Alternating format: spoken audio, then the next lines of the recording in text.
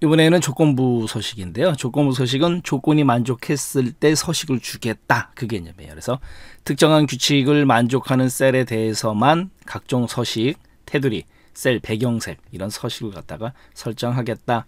그게 바로 조건부 서식이고 홈탭의 스타일 그룹에 가게 되면 조건부 서식이 있거든요. 그 조건부 서식에서 실행하면 되는 거고 그 다음에 이 조건부 서식은 기존의 셀 서식에 우선해서 적용이 된다. 당연히 조건부 서식이기 때문에 셀 서식에 우선한다라는 거 기존의 셀 서식보다 그 다음에 여러 개의 규칙이 모두 만족될 경우에는 그 지정한 서식이 충돌하지 않아요. 그럼 모두 적용이 돼요. 그리고 서식이 만약에 충돌한다 그러면 우선순위가 높은 규칙 서식이 적용이 된다.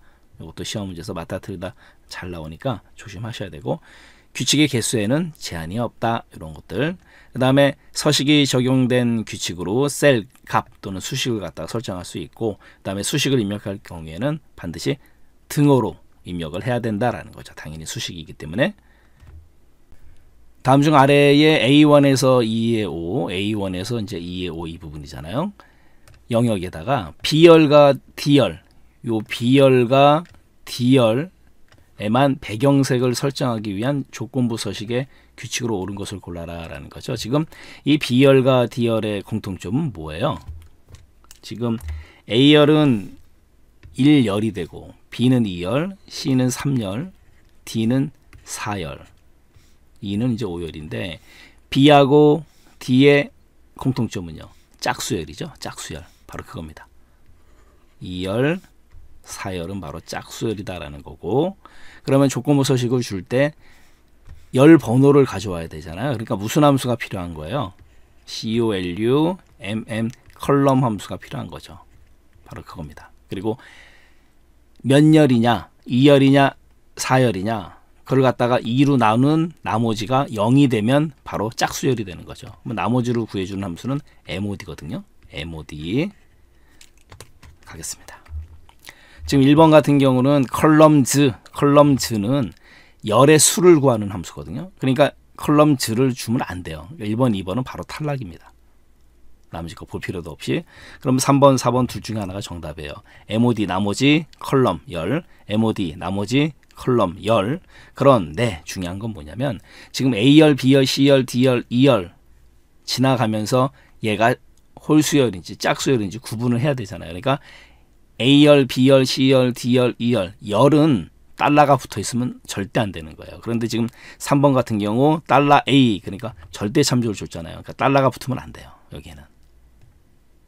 그러면 4번이 정답이 되는 건데 A 달러 1 그래 놓고 지금 A의 1, A의 1 여기잖아요.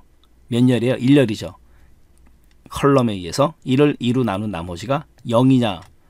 그러니까 짝수열일 때만 2, 4, 2열, 4열일 때만 나머지가 0이 되니까 B열과 D열에만 배경색이 설정되는 수식은 바로 정답은 4번이 된다라는 거죠. 직접 한번 보도록 하겠습니다.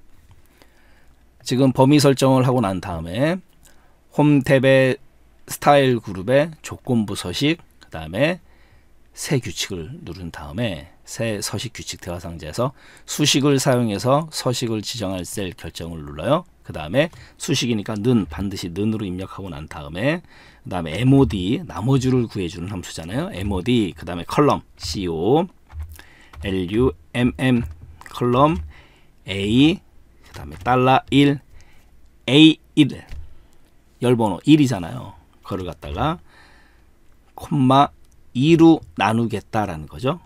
나눈 나머지가 0인 경우에는 뭐예요? 짝수열이다라는 거죠. 그러니까 2열 같은 경우는 2로 나누니까 나머지 0. 4열 같은 경우 2로 나누니까 나머지 0. 그리고 서식을 우리가 이렇게 색깔을 주기로 하고요. 채우기 확인을 누르겠습니다. 이렇게 되니까 2열에 해당되는 B열, 그 다음에 4열, D열, 그러니까 결론적으로 MOD 함수로 나눴을 때 나머지가 0이 되는 결, 결론적으로 짝수열에만 이렇게 서식이 적용이 된다라는 거죠. 그래서 정답은 4번의 MOD 컬럼 그 다음에 A 달러 1, 2는 0 이게 정답이 됐다라는 거죠. 네, 문제 풀이 마치도록 하겠습니다.